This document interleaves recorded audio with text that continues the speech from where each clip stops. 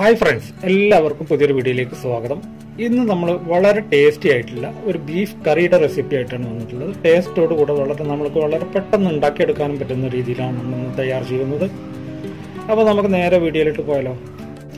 ഇതിന് വേണ്ടിയിട്ട് ഞാൻ ഒരു കിലോ ബീഫ് നന്നായിട്ട് കഴുകി വെള്ളമൊക്കെ വാട്ടി വെച്ചിട്ടുണ്ട് കേട്ടോ. ഇതിലോട്ട് ഇട്ട് കൊടുക്കാം. ഒരു കുക്കറിലിട്ട് കുക്കറിലിട്ടിട്ട് നമ്മൾ ആദ്യം വേവിച്ച് രണ്ടാമത് വീണ്ടും മസാല കൂട്ടിയിട്ടാണ് ഉണ്ടാക്കുന്നത് കേട്ടോ. ഇനി അതിലോട്ട് കുറച്ച് ഗരം മസാല ചേർത്തെടുക്കാം. അര ടീസ്പൂണോളം ചേർക്കുന്നത് അര ടീസ്പൂൺ കുരുമുളക് പൊടി ചേർത്തെടുക്കാം. അര ടീസ്പൂൺ മഞ്ഞൾപ്പൊടി ചേർത്തെടുക്കാം.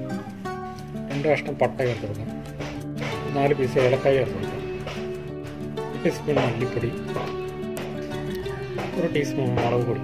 നമ്മൾ ഇതൊക്കെ ഇതിന്റെ കൂടെ ചേർക്കുന്നത് എന്തിനാന്ന് വെച്ചാൽ നമ്മൾ ഇപ്പോഴത്തെ ബീഫ് വേവിക്കുന്നിട്ട് അതിലോട്ട് നന്നായിട്ട് മസാല പിടിക്കാൻ വേണ്ടിയിട്ടാണ് കേട്ടോ കുറച്ച് കറിവേപ്പില ചേർത്തെടുക്കാം.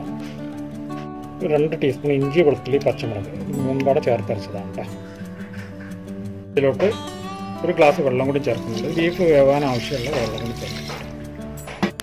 നന്നായിട്ട് നടത്തിയിട്ട് ഇത്രയും വെള്ളം മതിയാവട്ടെ. ഇനി ബീഫിൽ നിന്ന് അത്യാവശ്യം വെള്ളം ചേർന്ന് വരും. ഇതിലോട്ട് അവസാനമായിട്ട് ഒരു അല്പം ഉപ്പും കൂടി ചേർത്ത്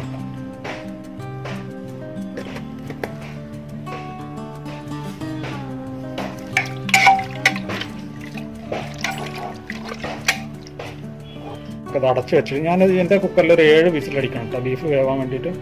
അത് ഓരോരുത്തരുടെ കുക്കറിനനുസരിച്ച് വ്യത്യാസം ഉണ്ടാവും ബീഫിന്റെ വേവ് വ്യത്യാസം ഉണ്ടാവും ഒരു ഏഴ് വിസിലാവുന്നവരെ നമുക്ക് വെയിറ്റ് ചെയ്യാം. നമുക്ക് ആ ബീഫ് വേവുന്ന ആ സമയത്തിൽ നമുക്ക് ഇതിലേക്ക് വേണ്ടിയിട്ടുള്ള മസാല ഒന്ന് റെഡിയാക്കി എടുക്കാം. അതിനുവേണ്ടി ഒരു കടായി വെച്ച് അതിൽ എണ്ണ ഒഴിച്ച് എണ്ണ നന്നായിട്ട് ചൂടായിട്ടുണ്ട് കേട്ടോ. പിന്നെ അതിലോട്ട് നമ്മൾ ആദ്യം തന്നെ ഇഞ്ചി വെളുത്തുള്ളി പേസ്റ്റ് നമ്മൾ നേരത്തെ ബീഫിലോട്ട് ആഡ് ചെയ്തിട്ടുണ്ട് കുറച്ച്. അതിന്റെ ബാക്കി നമ്മൾ ഈ എണ്ണയിലോട്ട് ആദ്യം തന്നെ അത് ആഡ് ചെയ്യാം.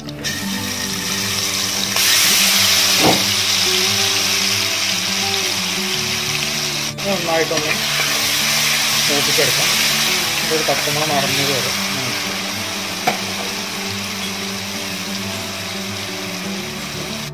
കുറച്ച് കറിവേപ്പിനും കൂടി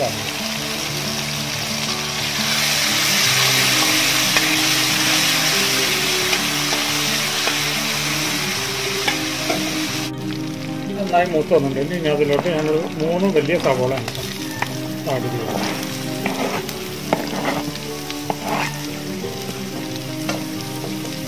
ഇത് ചെറിയ ഉള്ളി ഉണ്ടെങ്കിൽ ചെറിയ ഉള്ളി ചേർത്താലും നല്ല ടേസ്റ്റായിട്ട്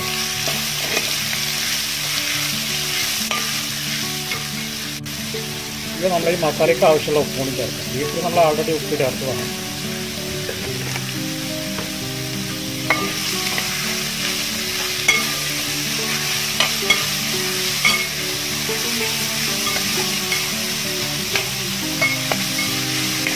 നന്നായിട്ടൊന്ന് വഴണ്ട് വരുന്നത് വരെ നമുക്ക് ചെയ്യാം.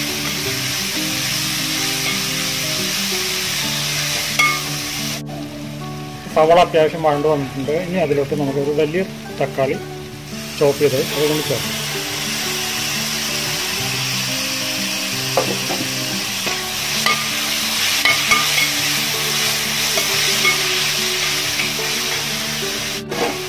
തക്കാളി ഒന്ന് വെന്ത് വരാൻ വേണ്ടി നമുക്കൊരു മൂന്ന് മിനിറ്റ് സമയം അടച്ച് വെച്ചിട്ട്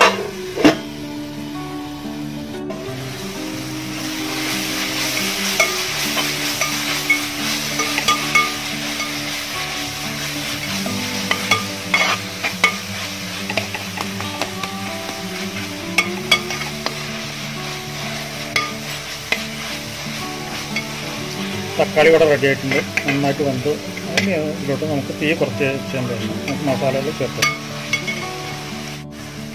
നമ്മൾ ഓൾറെഡി ബീഫിൽ മസാല ചേർത്തതാണ്. അതിനനുസരിച്ച് വേണം ഇതിലോട്ട് മസാല ചേർക്കാൻ. ഒരു അര ടീസ്പൂൺ മഞ്ഞൾപ്പൊടി ഇതിലോട്ട് ചേർത്തിട്ടുണ്ട്. രണ്ട് ടീസ്പൂൺ മല്ലിപ്പൊടി ചേർത്തിട്ടുണ്ട്. അര ടീസ്പൂൺ മുളക് പൊടി ചേർക്കാം. അര ടീസ്പൂൺ ഗരം മസാല കൂടി ചേർക്കാം. ഇത് നന്നായിട്ടൊന്ന് മിക്സ് ചെയ്തെടുക്കാം. ചെറിയ തീയിൽ വെച്ചിട്ട് നന്നായിട്ട് മസാല ഒന്ന് വേവിച്ചെടുക്കാം. ഇങ്ങനെ മസാല പച്ചമുളക് മാറിയിട്ടുണ്ട്. ഇതിലോട്ട് നമ്മൾ നേരത്തെ ഇഞ്ചി വെളുത്തുള്ളി പേസ്റ്റ് അരച്ച് വെച്ച മിക്സിയുടെ ജാറിലോട്ട് കുറച്ച് വെള്ളം ഒഴിച്ചാൽ വെള്ളം കൂടി ഉപയോഗിച്ച് ആക്കും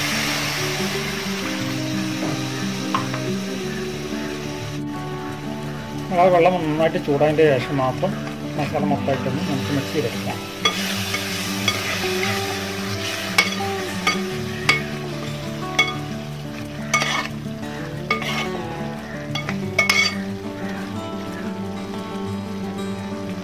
ഒരു മിനിറ്റ് സമയത്തൊന്ന് തിളക്കട്ടെ. നമ്മുടെ ബീഫ് ഇവിടെ വെന്ത് കിടക്കണം ആ ബീഫ് കൂടി ഇതിലോട്ട് കൂടി ചേർത്തോളാം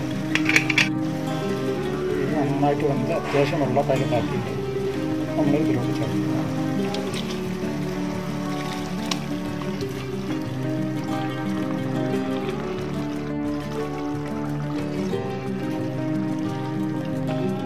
നന്നായിട്ടാണ് മിക്സ് ചെയ്യും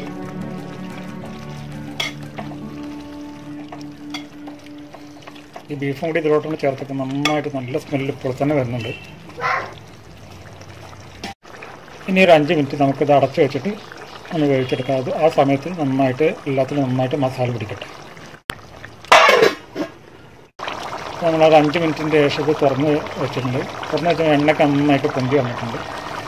ഇനി നമുക്ക് തീ ഓഫ് ചെയ്യാനുള്ള സമയമാണ്. തീയാണ് ഓഫ് ചെയ്തിട്ടുണ്ട്. അതിന്റെ കൂടെ തന്നെ നമുക്ക് കുറച്ച് കറിവേപ്പില ചേർത്ത് കൊടുക്കാം കൂടെ കുറച്ച് വെളിച്ചെണ്ണയും കൂടി ഒഴിച്ചു.